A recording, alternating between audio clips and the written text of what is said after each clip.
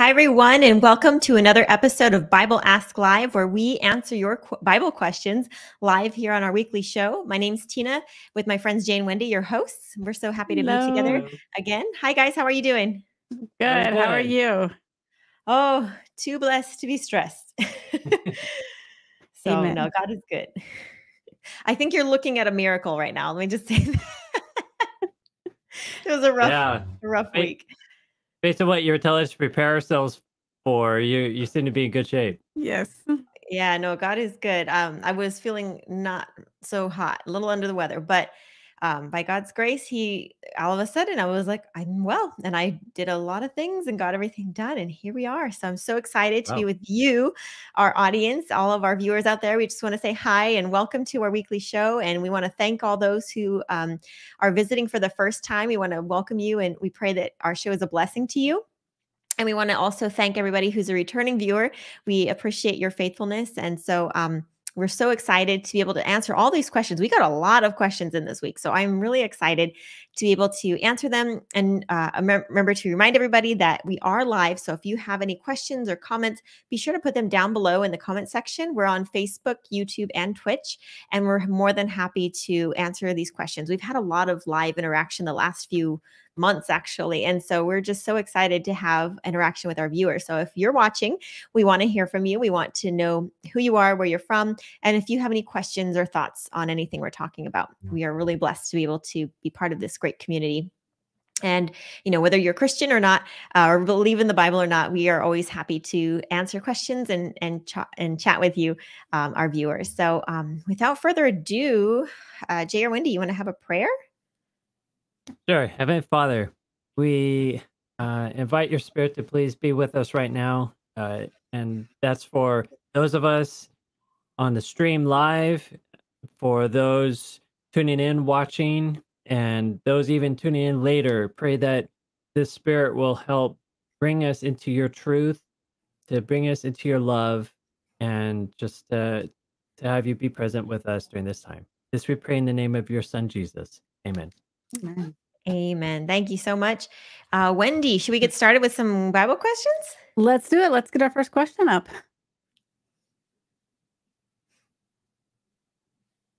So Theo is asking Genesis 19 and Judges 19 are eerily similar. What's up with this? I absolutely love this question, my friend Theo. And I'll tell you why, because I think I, I want to say I might have noticed this a long time ago when I was studying the Bible as well. And here's my two cents on the matter. So, and when you look at the books of Genesis and you look at the books of Judges, now the book of Genesis is all about the creation of the world and the fall of man, and basically how God is just trying to find a, a lineage of people that are not going to disobey disobey Him. But basically, most of the book of Genesis is about the fall and you know the destruction of the world through the flood, and you know the only line is like no Noah, and then only two of his sons, and then only you know abraham and his sons and even they were kind of messed up and so you just see um though like most of the world it's a very worldly centered book like talking about all the sins that were going on in the world. You see the tower of babel. You see again like the flood. The the thoughts of their heart were only evil continually. So you see the evil in man and you see uh, specifically in chapter 19 like you're reading um, the story of sodom and gomorrah in a story that takes place i believe in sodom and gomorrah. Let's go ahead and go there um, to genesis chapter 19 and i think this is why i think they're both in the uh, the same chapter and i'll tell you in just a minute. So I'm- I'll, I'll give you a little bit of suspense.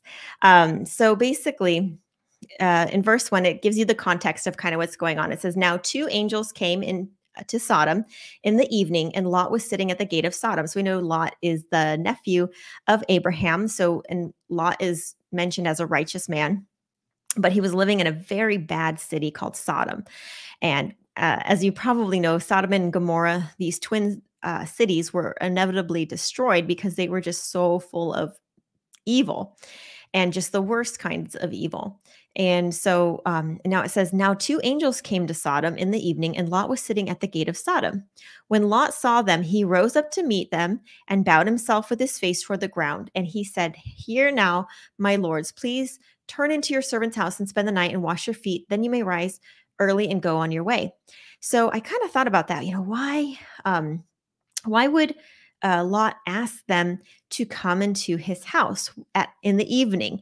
Um, well, I believe that Lot knew at night bad things happened in his city of Sodom, um, and that's exactly what we see.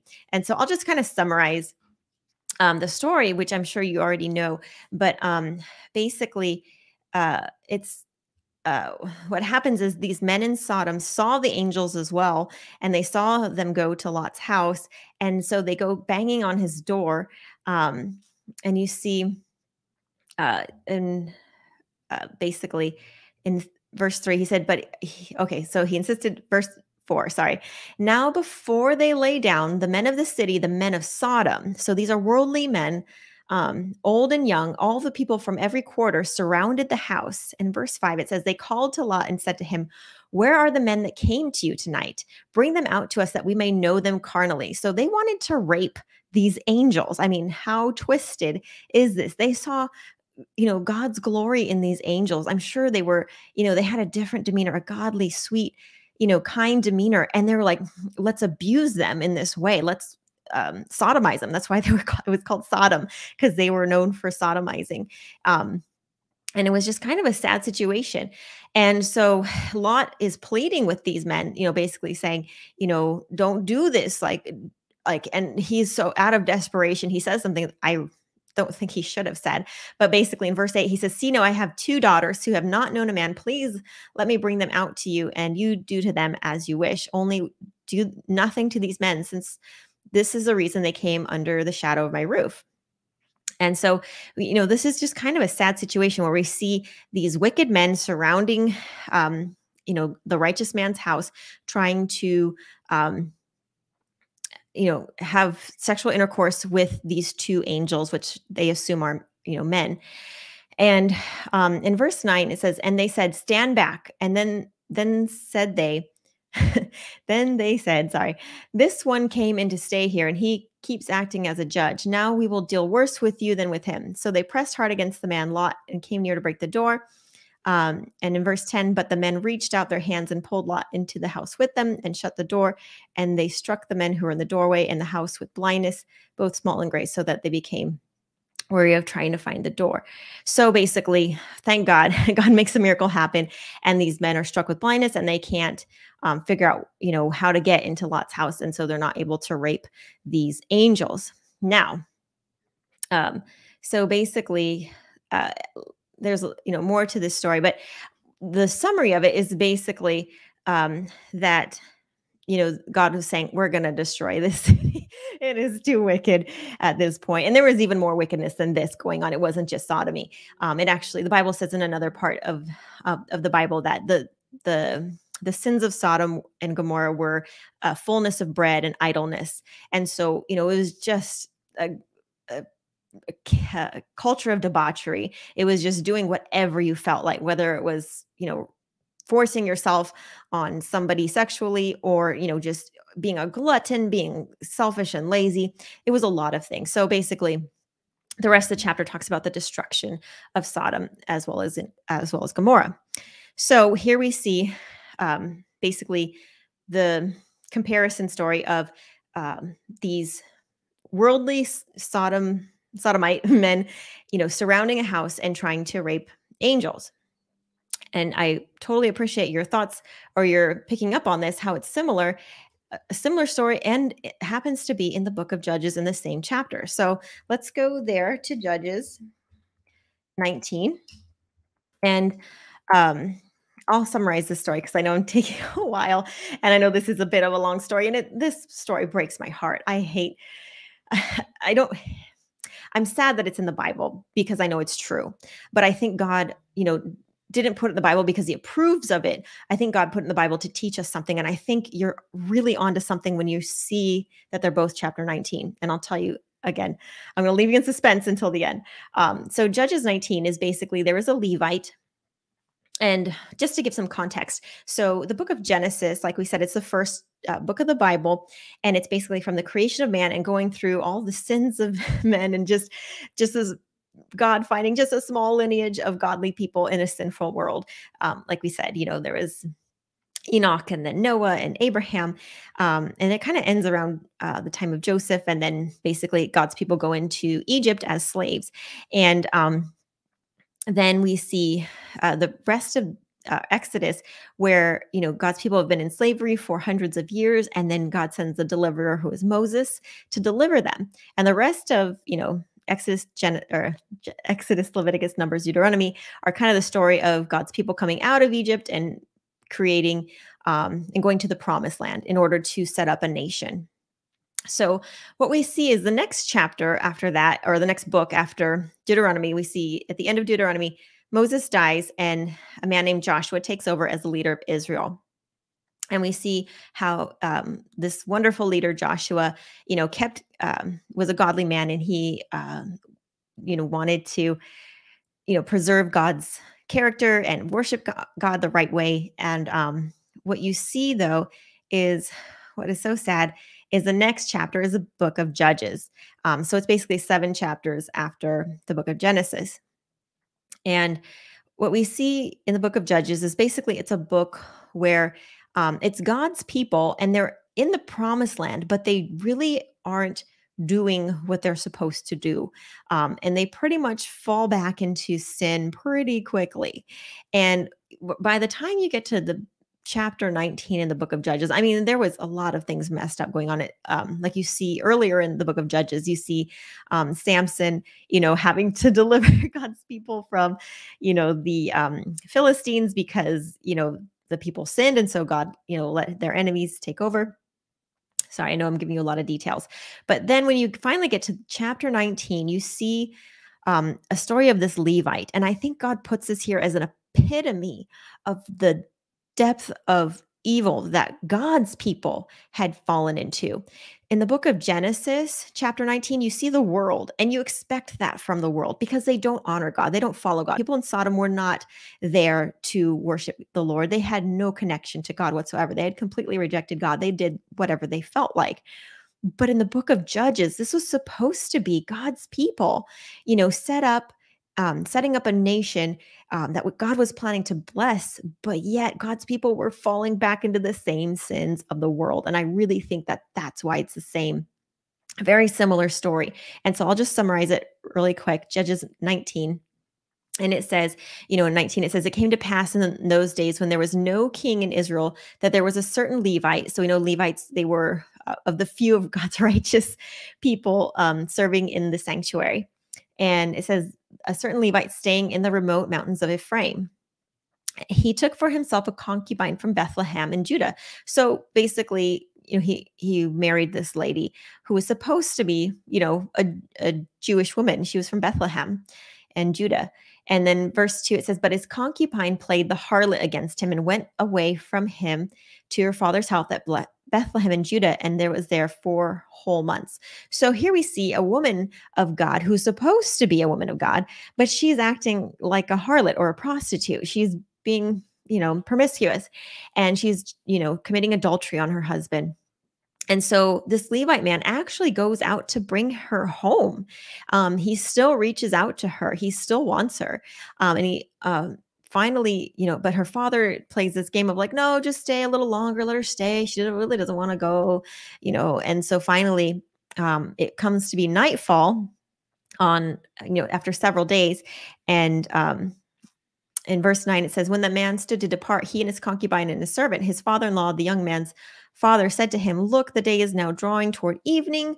So again, we see that evening language. Please spend the night. See, the day is coming to end to an end. Lodge here that your heart may be merry. Tomorrow go your way early so you may get home. And verse 10, though, he says, However, the man was not willing to spend that night. So he arose and departed and came opposite Jebus, that is Jerusalem. With him were the two saddle donkeys, and his concubine was also with him.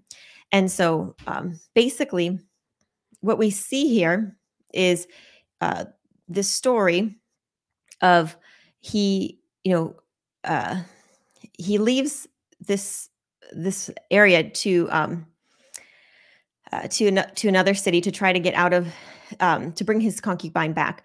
And um, uh, if you keep going, um, there it's very similar story to what you just read in Genesis chapter 19. Um, and it says uh, in verse 22, it says, As they were enjoying themselves, suddenly certain men of the city, perverted men, um, again, this is Judges 19 22, um, perverted men surrounded the house, same thing, and beat on the door. Very similar. They spoke to the master of the house, the old man, saying, Bring out the man. So basically, the Levite and his concubine stopped by another man's house he was a godly man and says bring out the man who came to your house that we may know him carnally. Same thing. They wanted to rape this levite. Now these were not sodomites. These were not worldly people. These were god's people. These were supposed to be israel. This is in bethlehem where jesus was born. Can you imagine? And yet we see the same wait was that bethlehem or gibeah oh sorry you're right she was from Bethlehem. No, she was from Bethlehem. They were coming out of Bethlehem though. But yeah. I mean, very. I think they're know, in Gibeah, which is uh, territory of the right. Benjamites. Which you're right, but even close to Bethlehem. Yeah, but even still, these are supposed to be God's people. Yeah. and so, um, basically, um, it, in verse 23 it says but the man the master of the house went out and said no my brother i beg you do not act so wickedly seeing this man has come to my house do not commit this outrage. Here's my virgin daughter. Same thing, same act of desperation. And so, um, what ends up happening is the man is like, you know, I don't want him to throw out his poor virgin daughter. So he actually takes his concubine, who, you know, was not a good girl, who was, you know, sleeping around um, well, for months and months. We and, don't know um, that, right? We, well, we just know she was a concubine. Which, oh, you're right. She was his wife. Is that what you're saying? No, no, she was a concubine. We just know she was his concubine, right? But we don't know what. We don't really know she was being promiscuous. Well, you know, it says she played the harlot. Oh, it did. Yeah, it oh. said. In, oh, I've always uh, missed that. Uh, in chap in mm. the beginning of it, it said her husband. Uh, verse two says, "But his concubine played the harlot against him." Mm. So yeah, no, it's okay. pretty clear. She was fooling yeah. around for it says for four months and she didn't want to leave. So she was not converting out like saying oh my husband's here for me i want to go back. No she was like no i really don't want to. She wanted to live in sin.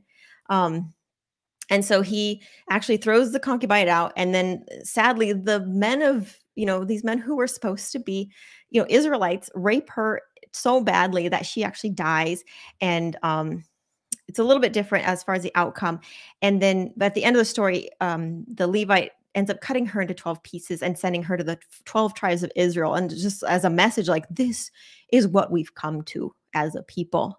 Mm-hmm. We need to change. And so basically, long story. I know I'm sorry. We went yeah, I mean, it gets to point where like it's like peak evilness, right? I think it's what yeah, it's, it's exactly. trying to compare to. They've reached peak evilness, just like Sodom and Gomorrah, and something needs to be done about it. Yes.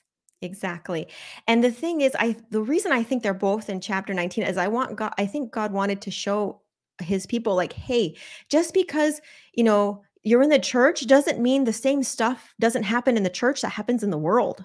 And so I really think that we have to be so careful as Christians to understand that, you know, just because we're in church that doesn't mean we're safe that as if you know we're not going to be tempted to sin or that there's not people tempted to sin around us. We have to be on our our guard and we have to be focusing on you know what's important which is a solid relationship with Jesus so that we don't go astray just because one sin gone unchecked is just going to lead to the next. And we're going to be in the same boat as we see the sodomite people. We're going to end up um, needing destruction. But praise God with his people. He will be merciful if we repent. So that is my message to you.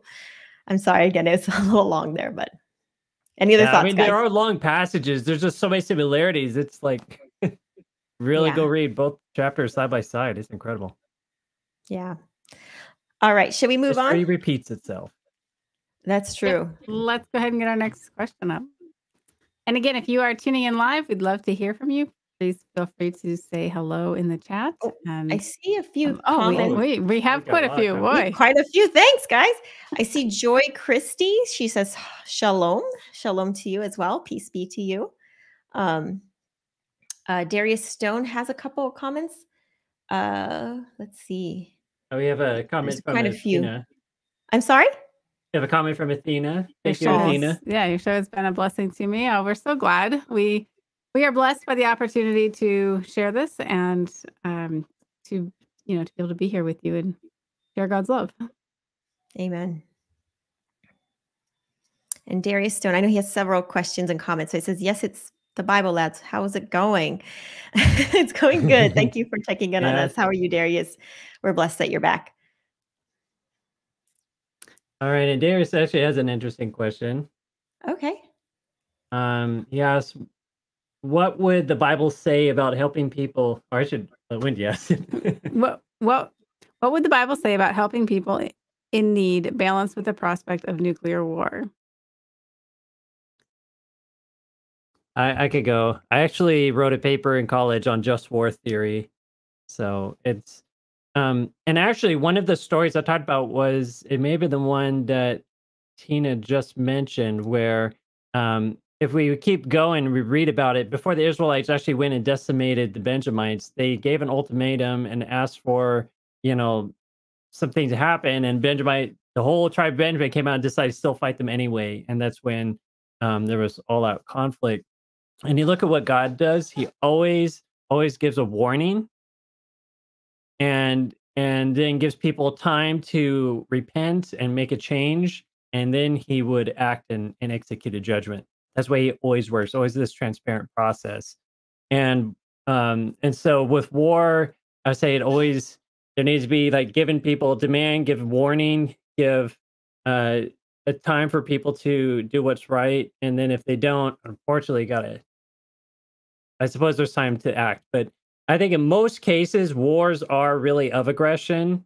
And in that case it's hard to ever justify those um the few times when it's like acting to actually help protect somebody and benefit somebody um that's one of the i say about the only times it's ever appropriate and still it always gets carried too far usually it seems like it war just brings out the worst in humanity and uh god god's not a fan of it Yeah, it's not it's not the solution. That's for sure. Not For the sure. direction we want to point. And we also had some comments from um, another friend here tuning in from Joy Christie. And uh, she's joining us from India. Welcome, Joy, Wow. from India, and Shabbat Shalom to you as well. Very and, and I do want to add one more comment about Darius because he is talking about you know what what's going to happen. Let's say would there ever be nuclear war? Oh, And the Bible doesn't give any indication that there ever would be nuclear war and, and huge uh, destruction of mankind. I believe we could get very close to such a state, but Jesus would come just before that point. So, um, And yeah. I'm sorry to jump back to Joy. He says that he's a brother. Oh. I'm brother Joy. So I apologize. I apologize. I I didn't know. I apologize. I think I I thought I saw in the picture a couple. So I and I may I'm it's really tiny pictures to me. So I, I'm sorry about that. yeah, and I'm welcome, Joy. All right, let's go ahead and get our next question up.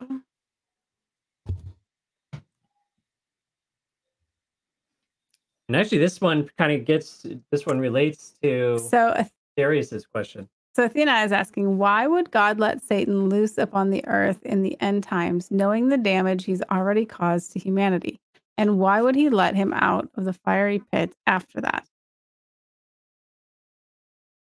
Yeah, I love I love the question, Athena, and I'm sure this confuses a lot of people. Like, why would God do that? What's going on? But it's important to always understand the what's the context, what is going on, and we have to keep in mind first that there's this huge conflict going on between God and Satan. Satan wants to take over. Satan wants to be in control. He's challenging God's authority. He's accusing God of being bad, God of being unfair. And now we're we're in this huge conflict where we have a choice of which side do we want to be on. And if you're in god's position how are you going to put an end to this rebellion? What is the best way to go about making sure rebellion will never ever happen again and that everybody will trust god and trust his his kingdom his laws and and, and believe that god is who god says he is. So if you're god how would you go about that? That's really the the thrust of this question. So uh so let's uh start looking at these verses though that we have in revelation that athena is referring to. It starts in revelation chapter 20 starting at verse 1. And it reads Then I saw an angel coming down from heaven, having the key to the bottomless pit and a great chain in his hand. And he laid hold of the dragon, that serpent of old, who is the devil and Satan, and bound him for a thousand years. And he cast him into the bottomless pit and shut him up and set a seal on him so that he should deceive the nations no more till the thousand years were finished. But after these things, he must be released for a little while. And did you catch that? It says he must be released for a little while. So he must. That that must is the Greek word die, actually, die. Um, that uh, meaning that this thing is necessary. So it's necessary. There's a reason. God has to let Satan out. So why? Let's keep going. Revelation 20, verse uh, um, verse 7. It says, Now then, the thousand years have expired. Satan will be released from prison and will go out to deceive the nations that are in the four corners of the earth, Gog and Magog. So God lets Satan out, and then Satan now goes to deceive the nations. That's what he does. I mean, Jesus says he's a liar, um, uh, the source of all lies. I mean, so this is what Satan does: lies, lies, lies, and now he's deceiving everybody, the whole, the whole world. So uh, basically, everybody who is not in the remnant, that's um, you know God's special people, you're n- you're now out to get deceived by Satan, and he rallies everybody um, to gather them together to battle, whose number is as the sand of the sea. So Satan is not just, you know, getting everybody on his side. He's getting them on his side to wage war against God. So we're talking about, yeah. So when is when is it okay to fight? God's not picking a fight here. Satan is taking the battle to God. Uh, he takes everybody. And in verse 9, it says, They went up on the breadth of the earth and surrounded the camp of the saints and the beloved city. So, uh, Revelation isn't in chronological order. Actually, at this time, the heavenly city is now landed in on earth, and Satan and all the wicked people surround the holy city to rage war. I mean, they completely encompass it in. It's now a sieged city. Can you believe that? And it's now at this point when, I mean, maybe Satan will like dig up nuclear weapons and they're preparing them what ready to launch them at the holy city. Who knows what, right? He would do anything. It says, and it's now at this point that fire came down from God out of heaven and devoured them. So God doesn't strike first. God is striking defensively. And think about what's going on here now. It's so clear what's going to happen if God doesn't end and the way, put an end to sin. Sin will try to destroy all that is good it's almost an act of necessity now to destroy wickedness. All life re- basically hinges on God bringing an end to sin. And so now with this in mind, let's look at some verses. Second Peter 3, verses 7 to, to 10. But the heavens and the earth, which are now preserved by the same word, are reserved for fire until the day of judgment and perdition of ungodly men.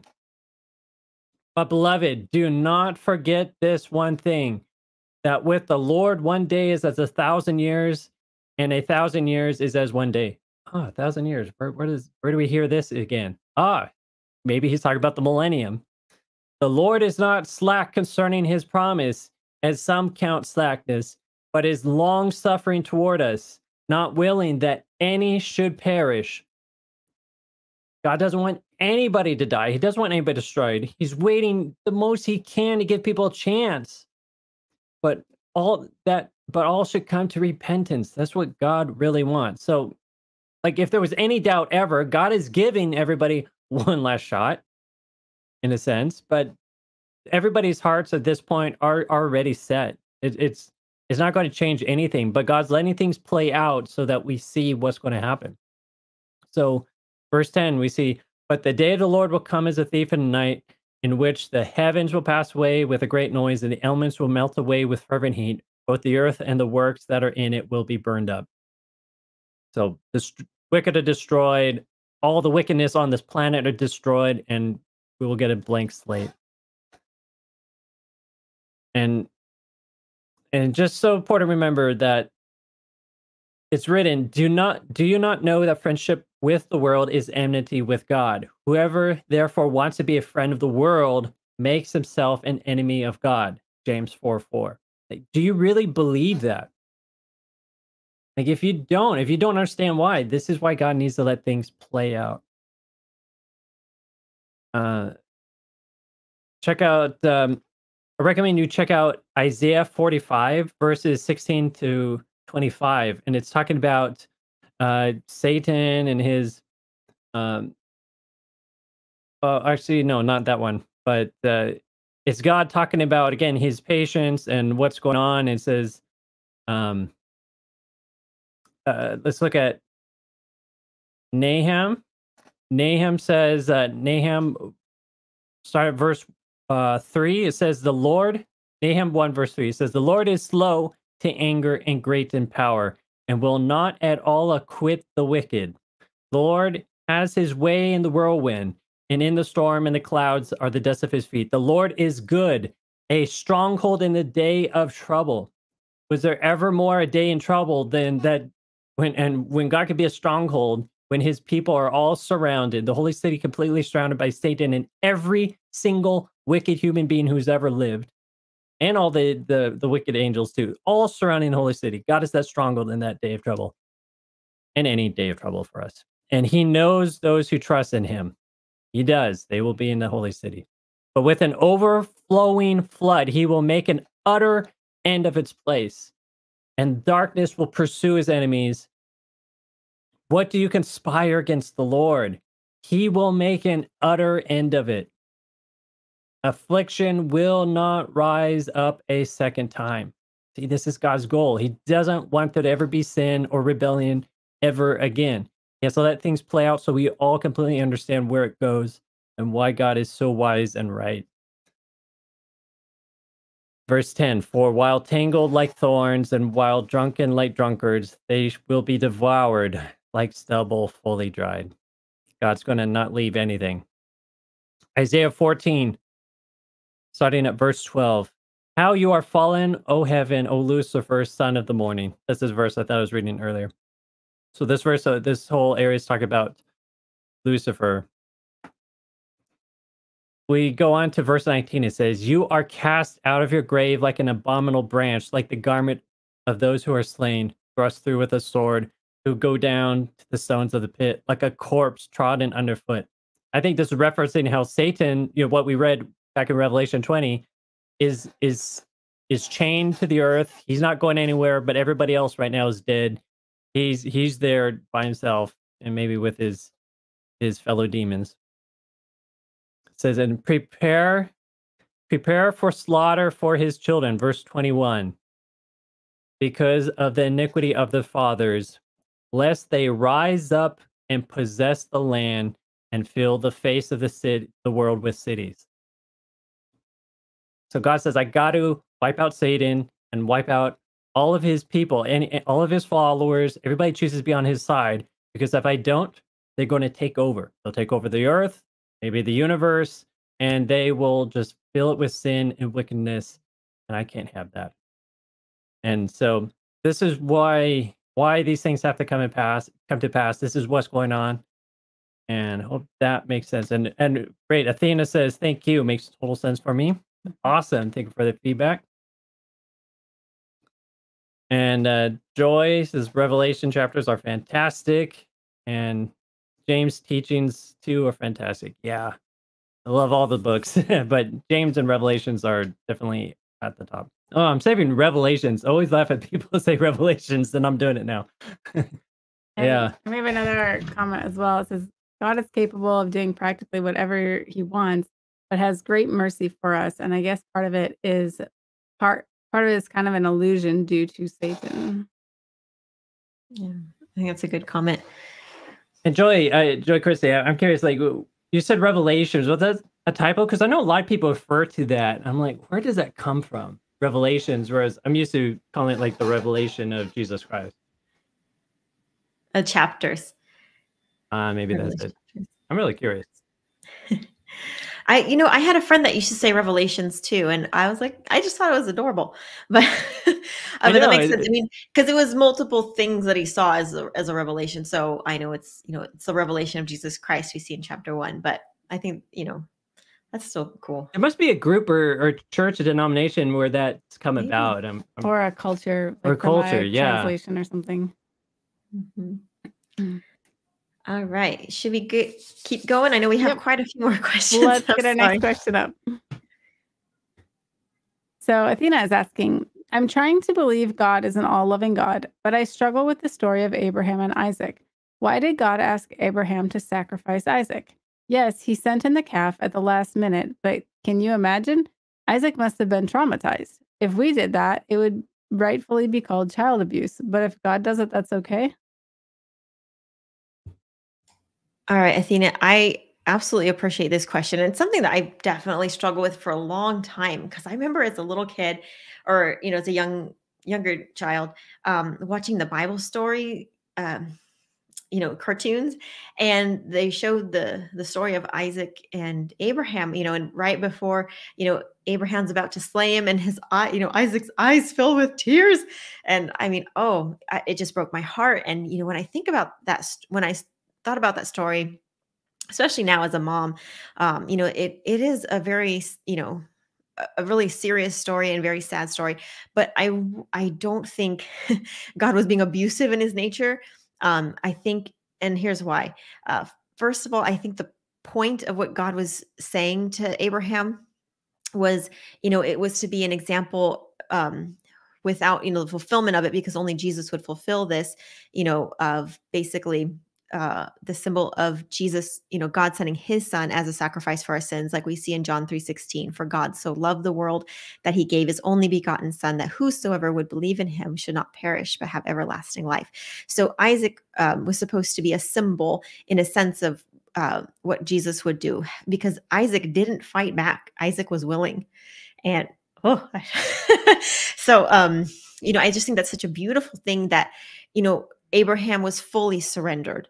Um, as far as you know to the will of god and isaac was fully surrendered to whatever is god's will he was willing to do whether it was to lay down his life or you know what have you now was god you know saying kill your child no absolutely not and we see that because yes god did send a ram um in the story but here's the verse i want to leave you with because i think this is the most important thing that shows god was in no way intending to ever have any harm done to isaac um, it was simply a test for abraham to take god at his word and i believe that god only um, gave this test to abraham when he knew that um, Abraham would do it in the right way with the right motive. And you see this in the book of Hebrews, chapter 11, verse 17. And I absolutely, this blew my mind when I read this because it made a thousand times more sense to me. I was like, why would God make such a terrible test? Like, that's horrible.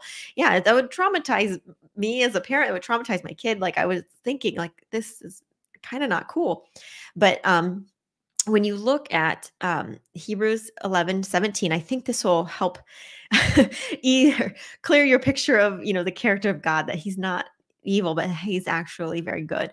Um, so like I said, Hebrews 11, 17 says, by faith, um, this is a hall of faith. So talking about Abraham, by faith, Abraham, when he was tested, offered up Isaac, and he who had received the promises offered up his only begotten son, of whom it was said, in Isaac your she seed shall be called.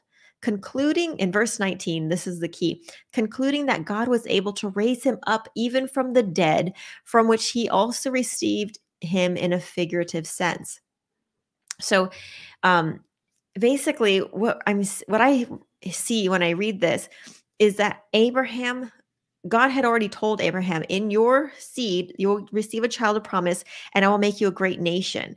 God had promised that to Abraham. So if Abraham had only one son, um, you know, basically, if God, you know, for whatever reason, had him go through with, you know, the the slaying of his son, Abraham knew by faith that God was going to raise him up from the dead, right? Like, you know, very quickly. It wasn't like he was thinking, I'm going to kill my son and he's just going to be dead. And this is just the end of the story. Um, Abraham was saying, No, by faith, I'm willing to you know to give god whatever it is he asks of me and in that we see god's character of of his love that you kind of see way back in the garden of eden um, in genesis chapter 3 right after you know the fall of man and uh, genesis 3 verse 15 and i'll just read that really quick and uh, i'll close with this um, thought so it's just basically it's a, a picture of of God and his promise that he gave to mankind at the beginning of the world. Um, and so here we see God saying, I will put enmity between you, being the serpent, and the woman, between your seed and her seed. He shall bruise your head, and you shall bruise his heel. Basically, um, it was a prophecy of the of you know the sacrifice that Jesus would make, that he that Jesus would destroy the uh, the devil, and but in the process of destroying the devil, the devil would hurt him physically. And so um, it was just to point to a picture of, you know, of what God did for us and for us to get a picture of, you know, you know, I know like i think i used to think about like oh that's nice jesus died for me he he loves me. But when i when you really think about it like imagine putting yourself through what god went through and giving up his son completely for our salvation. Um it just it's supposed to get your attention. It's supposed to bring you to a place where you go wow like this is an intense love of God for us that he would rather give up his son than lose us forever. And so we have to just see it for what it is as far as um, a teaching tool. It's and obviously, you know, like you said, God, God didn't ever want Abraham to go through with it. God's, um, you know, there's another verse oh, I think it's in the book of Ezekiel. I have to look it up later. But basically, um, it's talking about where God's people started sacrificing their children to the the false god Moloch, and it says he you caused your children to pass through the fire. He's like, and that I never told you to do that. Never, it never even came into my mind, is what God says. God doesn't ever want us to sacrifice our children physically. He never wants us to die. It was simply a, a, test for Abraham and a teaching tool for all of God's people to, to really think about what God did for us in providing us access to salvation through his son Jesus. And I think that we really, when we look at the story, we should see, you know, the beautiful giving heart of our Lord and our God because he went through with that complete sacrifice. And his son Jesus also was willing to die as our creator and our redeemer. So I hope that helps your picture of God a little bit more in this story. Um, dear Wendy, any other thoughts on that one?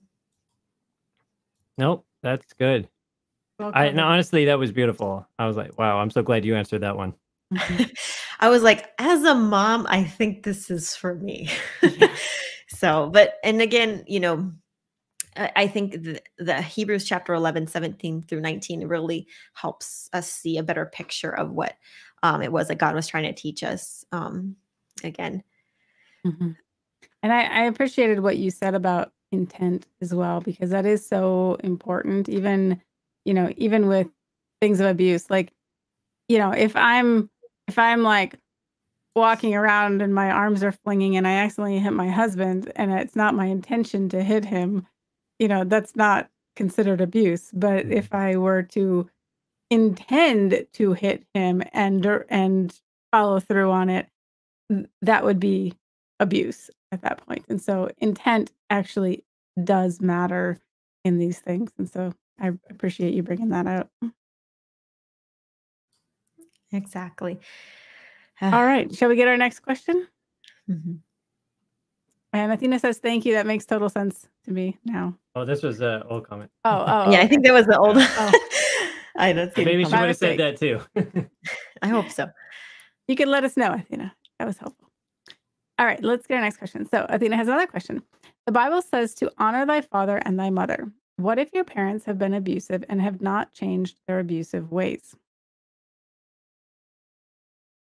Yeah, this is an excellent question. And I know this is something that a lot of people struggle with. And Wendy and I know people where their parents have weaponized this Bible verse for that purpose, where they mm-hmm. continue to basically, yeah, abuse their kids, but say, you got to do what I say because there's this Bible verse. Mhm. And I just want to first say that that is not what God ever intended. That Mhm. not God's plan. That is spiritual abuse.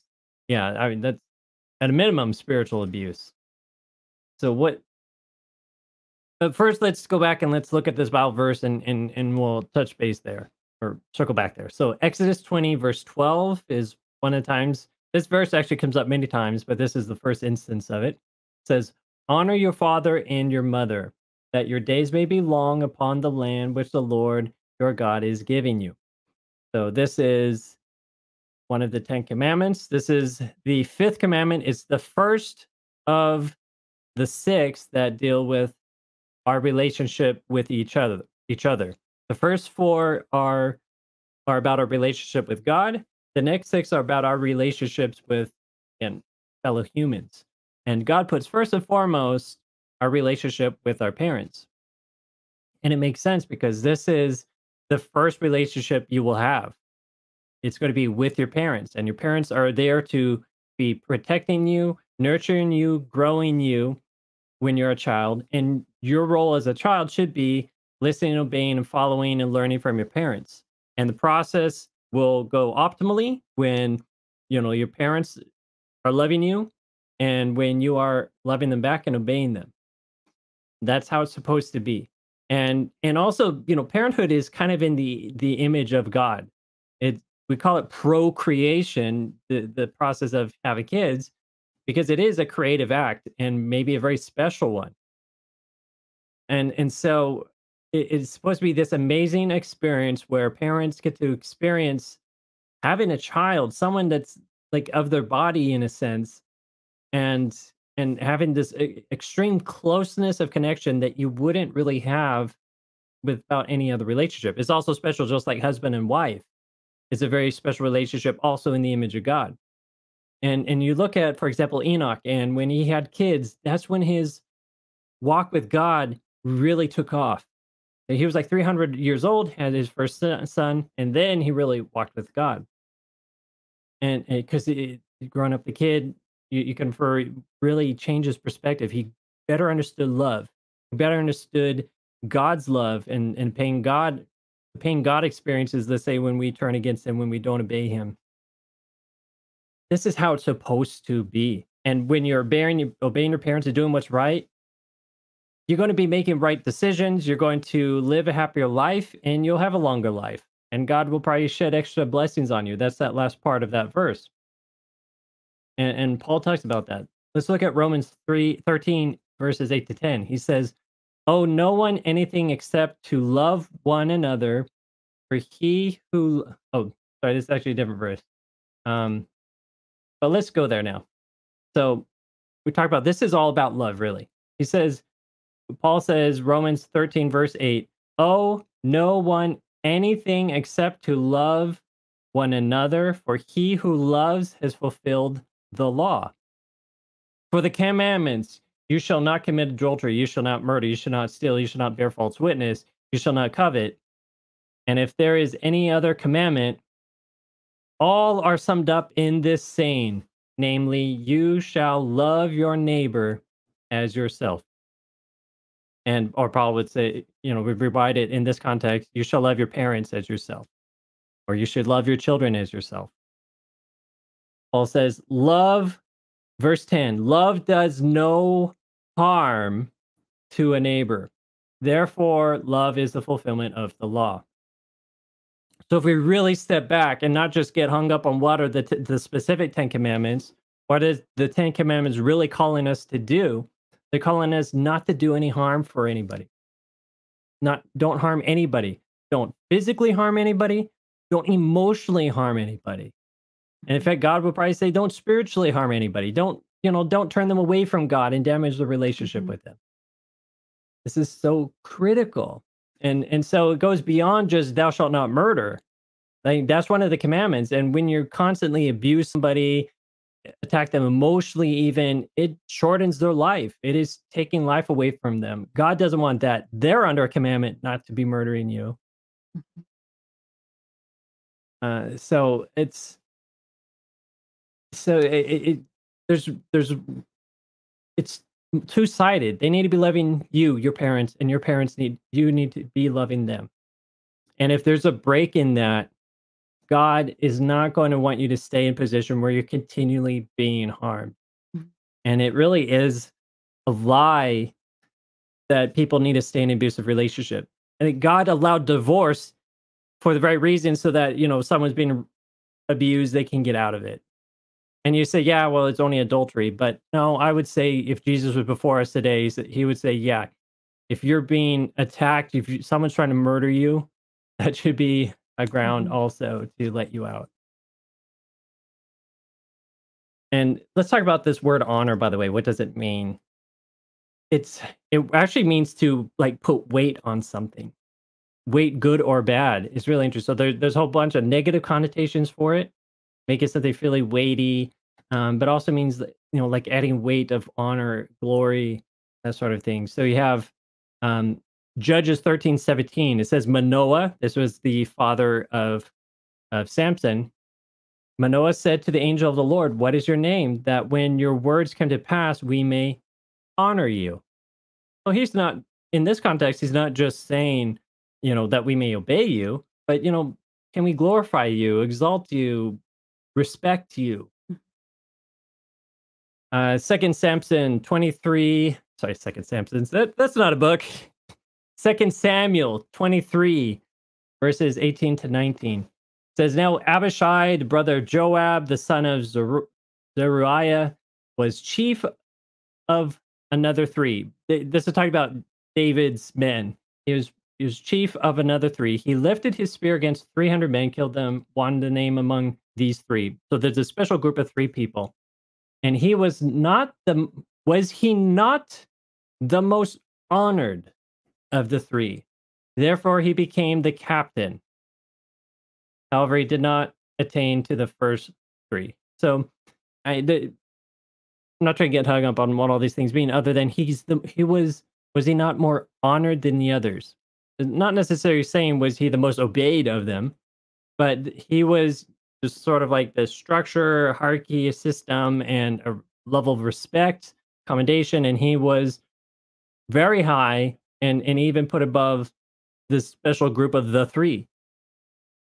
So this is kind of how God's idea was with parents. You know, there's parents up here, let's say, and then the children will be beneath them, and you respect the position of the parents. You recognize they're in a position of responsibility. They're in a position of greater wisdom, greater, um, yeah, more love is expected of them. You know, so and because of that, you respect them. You you you appreciate what they're dealing with in their position and there's a certain level of trust in that they'll be loving you back and taking care of you. Amen. sorry. I'm sorry. Um, are you going to keep going? I had an, a thought, but I don't know. If Uh, you go ahead. Okay, so I don't know if you already shared this verse because um, there, I had a minute where I couldn't hear anything um, when you were first talking for a bit. But at the um, as soon as I read or heard the question right now, I, a verse came to mind in Psalm 27. I don't know if you look, looked at that already, No. um, but this is a verse that um, was very dear to my heart um, because when I came into the church in high school or came into a relationship with Jesus um, in high school, I had a friend that I was friends with, and I was trying to win her um, to Jesus as well because she really didn't go to church or know anything about God. And she came from a very broken home where mom had completely abandoned the family. You know, I think she was doing drugs and that sort of thing. And then dad was, you know, still doing drugs, but not hard drugs. And he was abusive as well. And it was just a terrible situation that she was in. And, you know, she was like, you know, the 10 commandments say, honor my father and mother, like, but they're terrible. And God gave me this promise that um, made so much sense. And if you look in the book of Psalms chapter 27 and verse 10, it says, um, basically, well, verse 9, he's saying, he's asking God, don't hide your face from me. He's looking to God. And in verse 10, it says, when my father and my mother forsake me, then the Lord will take care of me. And so Mm. when there comes a Wow. point, if your father and your mother forsake you, if they abandon you, if they abuse you, if they mistreat you in such a way that is not worthy of honor as a mother or a father, it is the Lord then who steps in as your parent. and you do not have to you know obey you know their what they're saying in a sense like if they're saying you know come home so I can, you know, Mhm. abuse you. No, that's not honorable. So no, Mhm. you don't have to obey things that are not honorable of your parents um, when they are abusing or when when they're abusive. Um, you know, you might not spread rumors about or spread, you know, all this to everybody in your circle of influence. Like this is all the things my mom and dad did to me. You know, maybe give them that respect of just like, you know, I just don't have a relationship with them and just kind of be discreet about it. Um, and the thing is, the only way I, I believe in honoring your parents at that point is to do God's will because God is now your father and God is asking you to live a different life, a life of, you know, of kindness and not abuse. Mhm. And so that's what I would say. And um, if you keep reading that chapter, it's actually really beautiful um, how he's talking about his enemies and how God will make a way for me. And in verse 14 is the last verse of this chapter. It says, Wait on the Lord, be of good courage, and he shall strengthen your heart. Because I'm Mhm. sure if that's the case, if your parents are abusing you, you definitely got need God to strengthen your heart. And he says, Wait, I say on the Lord. So look to God as your parent, look to God to fulfill that whole. You know, that really only a mom or dad can fill because God can do that for you. Wow, no, That was- that's that's the that's the verse I was looking for. I couldn't find. the closest I found was Ephesians six four, which says, "And you fathers, do not provoke your children to wrath, but bring Yes. them up in training and admonition in the Lord." Yeah, that's a good one too. Yeah, don't Yeah. provoke Yeah. your children. So Yeah. yeah, God is telling parents not to do, But- not, you know, what I mean, not even not abuse them, not even provoke them, not, you know, But can you read that Mhm. again with, uh, from Psalms, where it says, like, you know, if your parents forsake you, in Psalms 27 verse 10. Yeah. Yeah, it says, "When my father and my mother forsake me, then the Lord will take care of me." that's so Um, beautiful. Yeah, That's it so really is. I know the King James version says the Lord shall lift me up, I think is how that reads. Mm. And so I mean this is it I think they're both beautiful and very accurate um, you know, translations and I think that, you know, God definitely inspired this, you know, these translations, but um this is a promise that, you know, God will provide for you as a parent. Um and he will be there for you. And you know, I just I just want to give testimony to that because you know, I so I I had a parent I have a parent who has severe mental illness and it was triggered when I was very young and he became emotionally disconnected and emotionally disappeared, unable to to be present and to really fulfill a parental role. Now, I don't believe he was ever intentionally abusive or neglectful. I think actually it's quite impressive with as severe as his mental illness was how how much he did try to be there. But because of the mental illness, because of his trauma and the things that he was going through, there there was a lot of inappropriate behaviors and and that had that that that had an adverse effect on me and left me with with the hallmarks of abuse even though I don't believe he was ever intentionally trying, you know, trying to be that way. Um, but the what was so fascinating to me is that God stepped into my life in such a strong way that my siblings would tease me for having an imaginary friend that I would talk to when I was young. And I had this relationship with God growing up that was so strong and so direct that I I didn't even understand it at the time because I wasn't in a church. I wasn't raised in a church. But because of that relationship with God, because of him stepping in and fulfilling that role in my life, I I knew God before I knew who God was. And I really do believe that that is something that he is um that promise that you just read is I I mean I I've never actually read that verse and processed that in that way, but when you read it I was just like, "Whoa." Like that is so there is so much truth to to that to that verse and and and he has stayed faithful and true and it's it's it's really mind-blowing. Yeah. I love the verse Second Thessalonians two sixteen.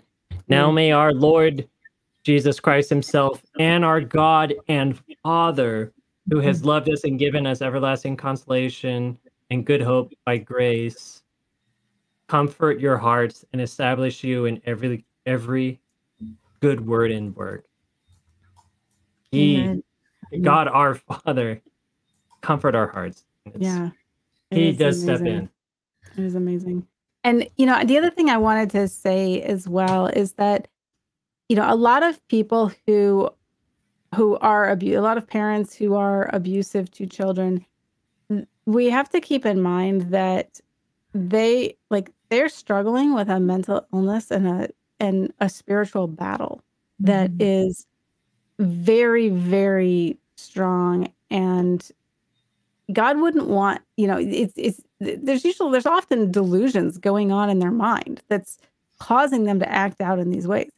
God would not want us to follow or give respect to delusions. Sin at its Yeah. core is Yeah. delusion. And So it's one thing that's to it. honor the person as God created them to be. It's another thing to honor the the broken, sinful, abusive things that are happening because of sin in the world. Mhm. So, you know, even when when even even when my own father and I had a had some experiences that were extremely hard for me and made it very difficult for me to be in contact with him and and to communicate with him because of what he was going through and how he was acting about it it wasn't that I had to stop loving him, like stop caring about him or stop loving him, but I did have to distance myself because for my own safety and protection. And and and and that I think is important when people are dealing with these situations that you know, honoring someone does not mean submitting yourself to abusive behavior by them. It means that I, I'm going to do my best to love him and support him from a safe distance and from a place where these inappropriate behaviors cannot cannot hurt me. And that's actually the honorable thing to do because he doesn't want to hurt me. He doesn't like the the the godly part of him does not want to cause that harm. And so I think that's important to keep in mind um, that when you're dealing with someone who is abusive, it's not good to submit yourself to that abuse. Amen. And just like one, I know you guys already kind of brought this up, talking about God as our Father. Um, just really quick, Romans eight fifteen. Just one more promise for anybody out there who's going through this. Um, Paul says here, "For you did not." Again, Romans eight fifteen. For you did not receive the spirit of bondage again to fear. So when we came into a Mhm. relationship with God, we're not supposed to be back in bondage and in fear Mm-hmm. you know i'm sure that's the spirit of being in an abusive relationship but it says but you respe- receive the spirit of adoption by whom we cry abba father sorry i get emotional because abba that's what jesus said on the cross it means like daddy it's a very close um word it's so we're supposed to have like that daddy relationship with our heavenly father not just like okay we're scared of him he's going to punish us if we do something wrong. No he's our like our daddy. He loves us he cares for us he wants us to grow and get better and that's the father in heaven that we can have a relationship with. And so like i know like you're saying wendy there's so many people out there that have had so much hurt you know Mhm. from their parents. I think that's probably the biggest source of heartache you know probably for most people um, but i i thank god that he um, is a god of healing and he's a god that wants to you know heal all those broken parts of our hearts in order to um, restore us into you know mental health and spiritual health and and just happiness in general Mhm. so I know we Mhm. took a lot of time on that. And I know we have still a few more questions. I don't know if we want to keep going or That was such a great question. We really appreciate you asking it, Athena. Mhm. amen. Yeah, no, it's really important. And we're so glad that this is helpful to you. We see your your um your comment to us and we really appreciate that we are able to be here for you and support you through this. Mhm. And I know we have, I think the next question, I think I can answer it in two verses. Do you want to just do that one really quick? Go Matt. for it. Okay, let's do it. Lightning round. So Leandro is asking, what are all unforgivable sins? So, my friend Leandro, that is a good question. And I think you're referring to um, Matthew chapter 12, um, where Jesus says in verses 31 and 32, uh, basically, Jesus says, Therefore, I say to you, he's speaking to the Pharisees. He says, I say to you, every sin and blasphemy will be forgiven men, but the blasphemy against the Spirit or the Holy Spirit will not be forgiven men. Anyone who speaks a word against the Son of Man so, Jesus, it will be forgiven him, but whosoever speaks against the Holy Spirit, it will not be forgiven him either in this age or in the age to come. So, there's always been a lot of debate as to what is the unpardonable sin. And people will say, oh, it's the sin against the Holy Spirit. And some people have gotten scared because they're like, well, I one time said I don't believe in the Holy Spirit, or I curse the Holy Spirit, or that sort of a thing. And they think that they're unforgivable at that point. But I want you to um, see the context in which Jesus says this, first of all. Um, basically, I'm going to summarize it because it's verses, if you, because he's saying therefore. So, therefore, you need to wonder why why it's there what it's there for jesus said this in connection to what was previously mentioned in verses 22 through 30 where basically the pharisees accused jesus of casting out demons by beelzebub which is a a big demon. And so Jesus says, you know, no house divided cannot stand. And he's saying like, why are you accusing me of, you know, casting out demons, you know, by the devil basically. And in verse 28 Jesus says, "But if I cast out demons by the spirit of God, surely the kingdom of God has come upon you." Um and so basically Jesus is getting to the point that or bringing up the point that you if you can't hear the spirit of God anymore, then there is no hope for you because the Spirit of God will lead you into all truth. We see that in the book of John, chapter 15. It says, For the Spirit, um, you know, will lead us into all truth. And if you're not being led by the Holy Spirit, the only other spirit you're being led by is the devil. And, you know, even the book of James, you know, he says, um, basically that you know you believe in god you do well but guess what? The demons believe and tremble. So it's not enough to believe god. It's it what it's about is uh, following the calling of the holy spirit. And so the only way that you cannot be forgiven is for the sin you don't confess. It's when the holy spirit can no longer work on your heart when you just keep rejecting god's voice and your god's spirit that you just absolutely will not adhere to him, then God has to respect your wishes and not forgive you and allow you to be lost. And so that's really the only sin. And, and to prove my point as true, this is the last verse, is First John 1 9, which says, if um, if we confess our sins, he, God, is faithful and just to forgive us our sins and cleanse us from all unrighteousness. So there's no sin that God can't forgive. It's only the sin you do not confess, that you will not submit to the Holy Spirit for because the Spirit is the one that calls our hearts to Jesus, that leads us, you know, to a state of repentance. And um, so that's my answer for that. Jay Wendy, any other thoughts? Nope, that's perfect. Praise God. Are we out of time? We got one more. I mean, we're out of time, but we could do one more. oh, which, we, we have a lot of related questions that go well together. Got you. Maybe uh, we should wait for next. But you just yeah, opened the door. Let's wait till next week. The next one, I think we need to give it some time. Um, so yeah, let's go ahead and end here tonight. But I just want to thank everybody so much. We had so many great comments and questions that came in. I'm sorry we weren't able to address every comment or question that came in. There were some really great thoughts that people said. I do see Olivia saying amen and praise God. So I thank you so much, Olivia, for your continued support. You're so wonderful. We appreciate you. And we appreciate you, Athena, for saying thank you so much. Um, don't ever be sorry for giving us questions. That's why we're here. Exactly. Athena, yep. sorry about all the questions. I want to be a Christian again. I'm trying to get over the oppression I experienced from an oppressive religious upbringing. And I apologize for that. Um, you know, and that's not God's will. And I think honestly, spiritual abuse is probably one of the worst abuses out there um, because it's real and it happens and you don't deserve that. And that is the worst thing because it paints a picture of God that's not true. God loves you.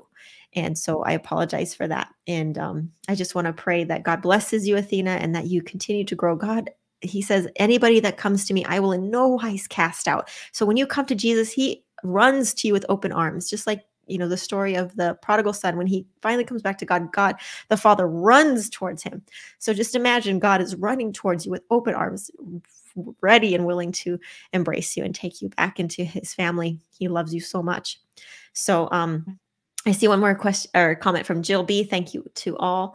Thank you, Jill. We appreciate your um, yeah. you coming and joining us. And again, if anybody out there has a question they want to formally submit to our show, um, go to our website bibleask.org forward slash live, and we have um, you can submit your questions there to be featured on our weekly show.